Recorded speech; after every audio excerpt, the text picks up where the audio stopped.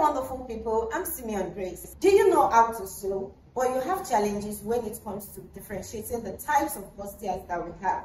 Or you do not even understand which of the bustier is which. There are different types of bustiers and about five of them are what we're going to be learning in class, starting from the straight bustier, the shoulder bustier, the princess bustier, the off-shoulder bustiers. All of these are what we're going to be learning.